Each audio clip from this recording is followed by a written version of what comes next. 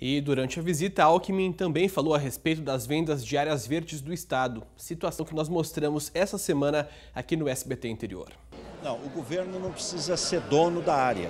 Nós vamos plantar 8 milhões de mudas de árvore em nenhuma área do governo.